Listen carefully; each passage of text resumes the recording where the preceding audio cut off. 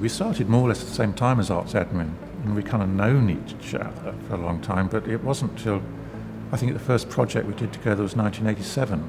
So that first period, we did a lot of work which was largely in visual arts contexts, but Artsadmin, you know, more then than than now. In fact, was was more theatre based, kind of.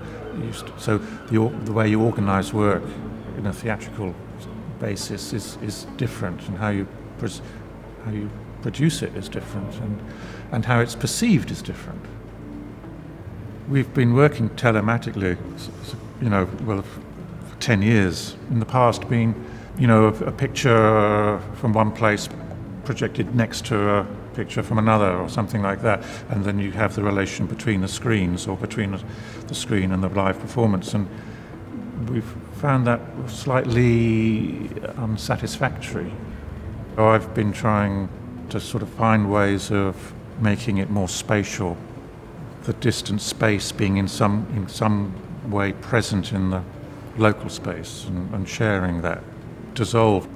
It's a telematic performance uh, linking two countries, uh, Germany and England. Um, meaning so primarily using video and sound, do a combined performance to an audience in Berlin and in London at the same time. So we have this two-way video link.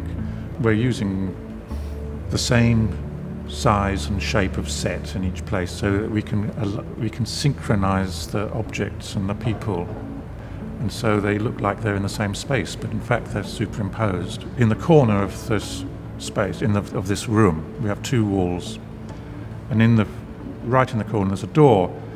And when it's open in London, it's closed in Berlin. And they're actually synchronized by a very clever piece of coding, creating kind of uh, impossible spaces in a way. The uncanny thing is when you superimpose your face in close up with somebody else, and it doesn't look like either of you. It looks like a kind of a third character that seems to have a kind of identity of its own. It's, uh, it's a very interesting mechanism, really, for talking about doubleness and talking about the inner and the outer, or, your, or, or what I see in you and what you think of yourself.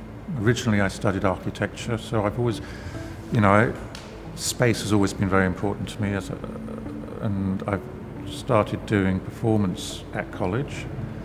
Um, and it's always been highly spatial kind of performance that I've been involved with. I see performance as much as you know as, as much a piece of sculpture as a as a as a exploration of psychology. I mean, the reason we started telematics in the first place because some sort of ridiculously ambitious idea of turning the whole world into a performance space.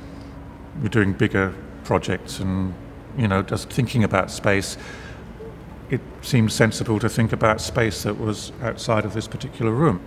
And there's a sort of a, a, a, a flux of action all happening. And how do you capture that? How do you even begin to think about that? And in, in that sense, it's, it's spatial. We're still thinking about spatial events. But yes, using technology to realize it.